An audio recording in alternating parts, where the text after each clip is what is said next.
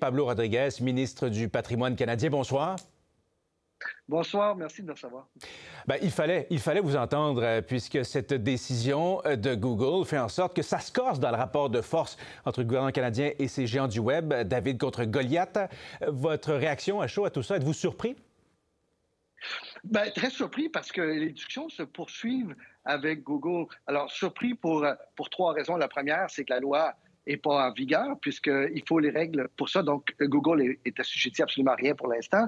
Deuxièmement, parce que justement, les discussions sont en cours et je vous dirais qu'elles sont plutôt positives. Et troisièmement, euh, ils savent très bien que les prochaines étapes, donc les étapes qui touchent la réglementation, sont les étapes où on clarifie les choses exactement qu'on avait fait sur le projet de loi précédent, C11. Oui, quand même. Mais tout ça s'inscrit dans un, dans un rapport de force où, très clairement, on tente d'exercer de la pression sur le gouvernement euh, canadien. Qu'est-ce qui se passe? Est-ce qu'on on, se sert du Canada comme un, euh, un banc d'essai, un laboratoire, un cobaye? Euh, c'est partiellement ça. Il y, a, du vrai dans, dans, dans, ce que vous dites. Vous savez, le Canada ose aller de l'avant. Le Canada ose tenir tête à des géants du Web et, et il ne l'accepte pas. Euh, donc, euh, euh, il y a quelque part, oui, il s'essaie d'envoyer un message non seulement au Canada, mais à la France, à l'Angleterre, à l'Allemagne, aux États-Unis. mais nous, on va continuer à, se tenir debout. Vous savez, les salles de nouvelles à travers le pays disparaissent et elles vont continuer de disparaître. Donc, le, statu quo, il est absolument impossible. On a besoin d'une presse qui soit libre, forte, indépendante, non partisane. Et les revenus s'en vont actuellement à deux compagnies, Google, Facebook, et ça, on ne peut pas continuer de vivre comme ça. Donc, vous maintenez le cap malgré tout, malgré cette pression supplémentaire qui s'ajoute à celle de Meta. Jusqu'où irez-vous pour défendre les intérêts que vous jugez légitimes dans tout ça? Bien, on, va, on, va, toujours se tenir debout. Pensez-y, là. On ne peut pas accepter qu'une entreprise multinationale, une entreprise américaine, aussi grosse qu'elle soit, avec autant d'avocats qu'elle est, puis aussi riche qu'elle soit, on ne peut pas accepter que cette entreprise vienne chez nous dire au gouvernement du Canada, je sais que vous avez un paquet d'élus, là, mais vous allez faire ce que moi je veux. On peut pas, on est un pays souverain. Alors, on ne peut pas avoir ni ni une entreprise dans ce secteur-là ou ailleurs, ni dicter au gouvernement et au peuple canadien quoi faire. Meta s'était, entre guillemets, essayé avec l'Australie.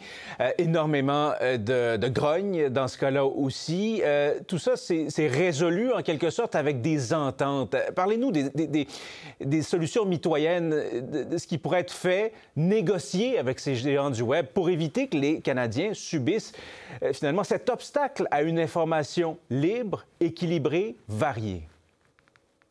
Bien, écoutez, je peux vous dire qu'il y a encore des bonnes discussions euh, avec Google et je ne peux pas négocier sur la place publique. On ne l'a pas fait euh, dans l'accord avec les États-Unis et le Mexique. C'est justement qui nous a permis d'avoir autant de succès. Mais je peux vous dire ceci, c'est qu'ils cherchent plus de, clarté euh, et, et, cette clarté-là, on leur offre à travers la réglementation. Donc, avec les prochaines étapes qui s'en viennent, c'est pour ça que j'ai espoir qu'on puisse qu'on puisse à, terme s'entendre.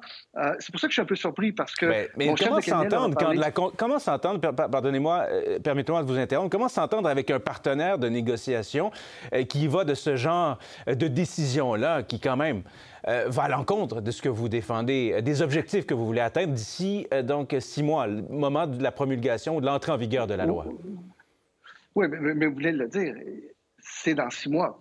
Moi, je pense que, euh, comme toute compagnie qui négocie, ils établissent un rapport de force. Ils nous disent, voici, nous, on entend faire cela. Ce qu'ils font en terme, je ne sais pas. Mais en parallèle, il y a des discussions qui se poursuivent, des discussions franches, ouvertes. Ce ne sont pas toujours faciles, les discussions. Et c'est normal. Mais rappelez-vous une chose, ces compagnies-là ne veulent pas être réglementées.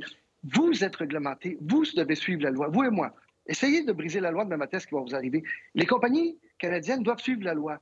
S'ils ne le suivent pas, ils vont payer le prix. Alors pourquoi vous allez avoir des géants du Web qui vont débarquer chez nous, faire ce qu'ils veulent sans aucun impact? C'est, n'est pas acceptable. Ultimement, les conséquences, euh, elles pourraient être lourdes pour ces compagnies. Euh, pour, pour lesquelles? Google, Meta, les autres qui refusent d'obtempérer, qui vont de mesures comme celle-là?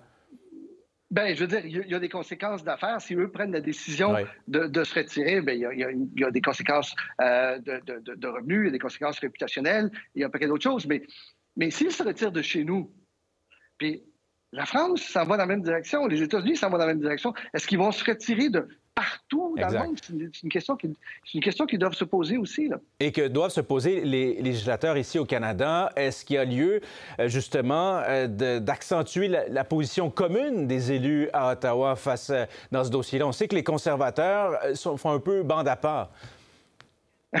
beaucoup ben, Le, Bloc québécois nous appuie totalement, le, NPD nous appuie, euh, on a l'appui du gouvernement euh, du Québec, plusieurs autres collègues. Vous savez, je suis actuellement à Toronto à une rencontre des ministres de la Culture.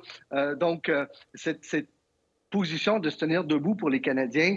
Est-ce qu'elle doit se renforcer face à ce qui, arrive, face à ces menaces qui se multiplient? Est-ce qu'on doit en faire plus? Moi, je suis, non, écoutez, moi, je suis, très clair. Là, c'est pas, je suis pas à essayer de, je voudrais pas faire escalader ça, comme je pense pas que ce soit nécessaire qu'il le fasse escalader non plus. Euh, ce que je souhaite, moi, c'est qu'on poursuive les discussions. Elles sont en cours. Là. Et comme je disais, mon chef de cabinet leur a parlé ce matin. Moi, j'ai parlé la semaine dernière. Ça fait un an qu'on se parle sur une base régulière. Il doit, je pense qu'il y a moyen de trouver des solutions. Ce, niveau de clarté dont ils ont besoin, ça vient dans les règles.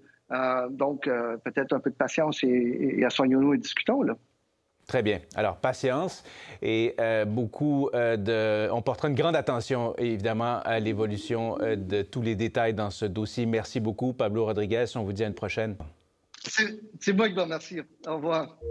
Pour voir nos émissions en entier, rendez-vous sur la chaîne ICI RDI.